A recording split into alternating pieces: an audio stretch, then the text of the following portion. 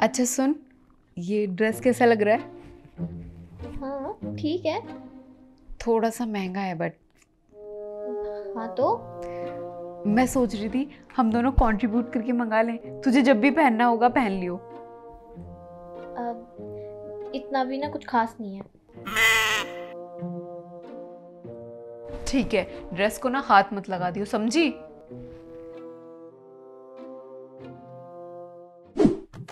ला remote दे बहुत देर होगी पका दे पका दे। ये अपना हाथ पीछे कर। टच मत कर मुझे। मुझे ना कोई शौक नहीं है तुझे टच वच करने का। वैसी बदबू मारती रहती है। दो दो दिन नहीं नहाती। एक्सक्यूज मी फिर भी तेरे से साफ़ दिखती हूँ मैं। साफ़। मज़ाक कर रही है।